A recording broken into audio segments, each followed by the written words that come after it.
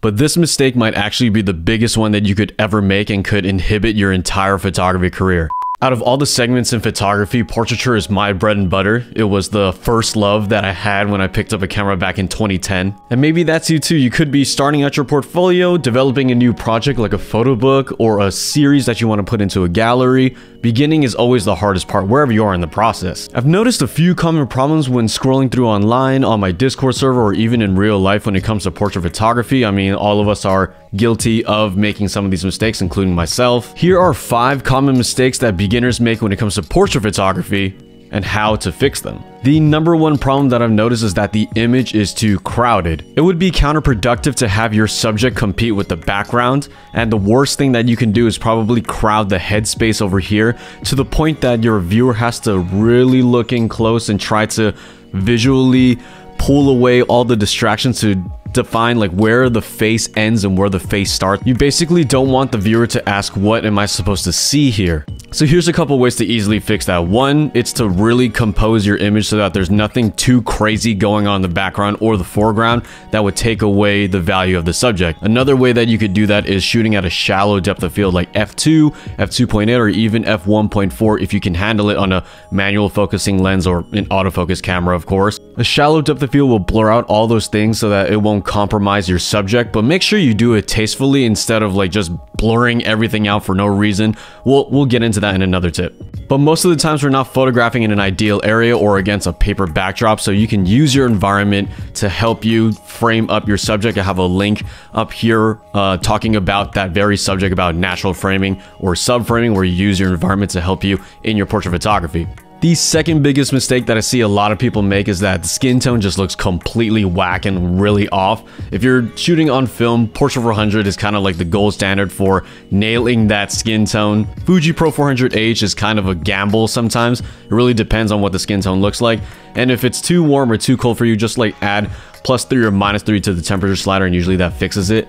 And I know that there's a lot of artistic value in deviating from reality in a very tasteful fashion, but make sure that the skin tone just doesn't look like you're a blue reptile. This is usually a very easy issue to fix. Just make sure that your exposure looks great in camera. Obviously on film, you can't really check that. So make sure that what you're metering for the side that is being illuminated and the side that is in the shadow, make sure that it's illuminated well and exposed well, and the skin tone should be fine. The third common mistake that I see a lot of beginners make is that they're always shooting at the shallowest depth of field at the biggest aperture that they can afford because you bought that f1.4 lens for a reason or you got that gigantic medium format lens that can shoot at f2.4, f2.8 and you want to use it to its full potential. The prospect of having a super blurred out creamy background from your f1.4 lens seems nice at first but it actually kind of damages your portrait game in the long run. Portraits don't always have to be an isolated headshot. A lot of it can include the full body and a lot of powerful portraits in history have detailed that as such.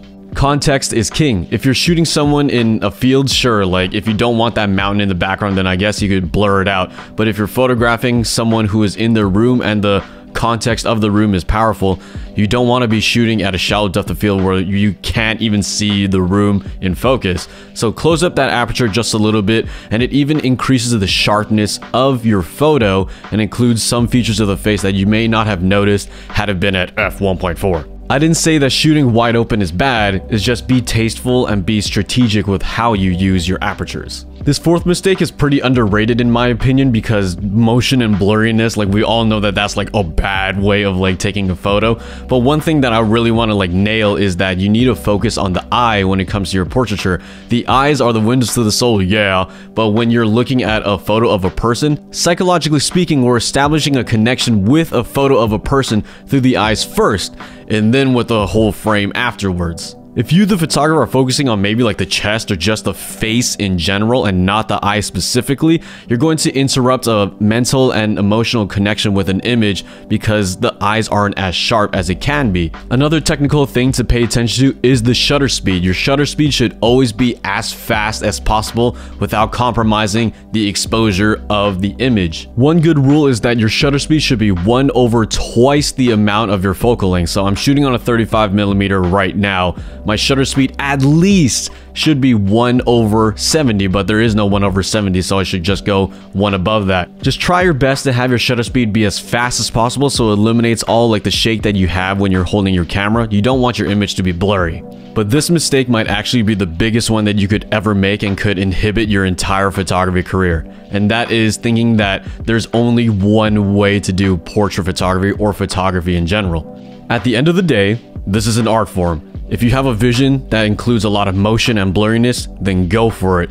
If your vision involves messing with the skin tones in an artistic and intentional way, then go for it. I think a lot of things that we've seen on YouTube and also in the formal classroom is that the artistic way is supposed to follow this one main vein, and that's very wrong. Following fundamentals and standard procedure is not a bad thing. I feel like all of us have started there. And then when you learn the principles, you learn why you should break them or why you can break them. I think that if you just break rules just to break rules, it doesn't really do anything for you and your growth. Or maybe it does. I don't know. I want to see you be yourself in this creative space. I want to see your creativity thrive in its most natural form. But if you're just starting out, if you're just a beginner, it's sometimes hard to have that reach its highest potential if you don't really know the fundamentals. You don't need it, but it's a great way to start. It's an option. There are tons of options out there. And that's all I have for you guys in this video. Make sure you subscribe for more film photography content or photography tips in general. Make sure you like this video and comment down below and I will see you all in that next video.